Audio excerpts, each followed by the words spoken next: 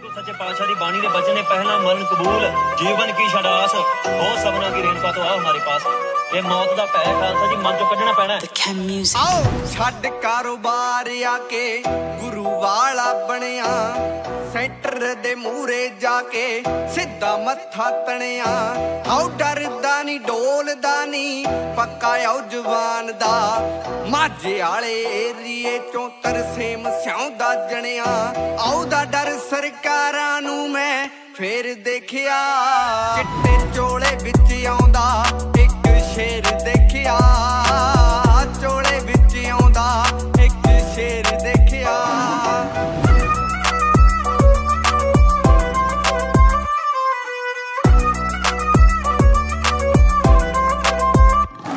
ਆਓ ਕੱਢੀ ਸੀ ਵਹੀਰ ਕਿੰਨੇ ਜੁੜੇ ਨੌਜਵਾਨ ਸੀ। ਨਸ਼ਿਆਂ ਨੂੰ ਠੱਲਣੇ ਦੀ ਹੱਥ ਲਈ ਕਮਾਨ ਸੀ। ਕਿੰਨੇ ਘਰਾਂ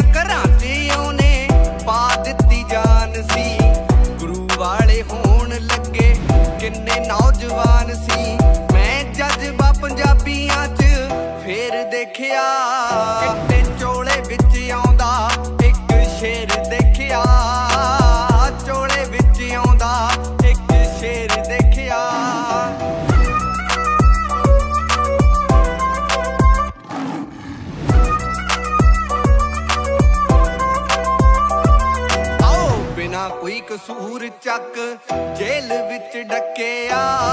ਪਤਾ ਸਿੰਘ ਫਿਰਦਾ ਸੀ, ਠੱਗਾ ਕੋਲੋਂ ਅੱਕਿਆ। ਜੇਲ੍ਹ ਬੈਠਾ ਕਹੀ ਜਾਂਦਾ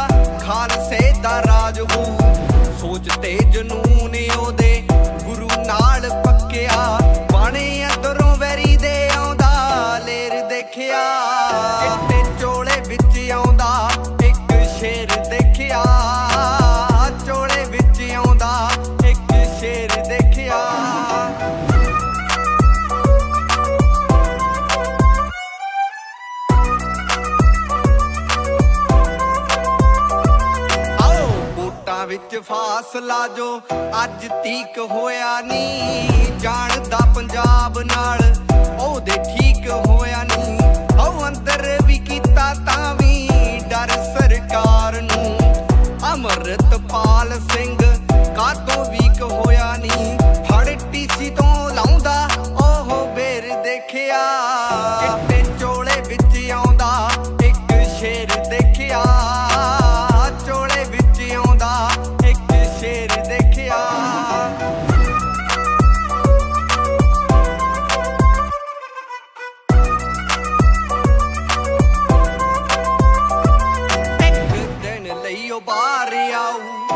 ਉੱਡ ਗਈਆਂ ਖਬਰਾਂ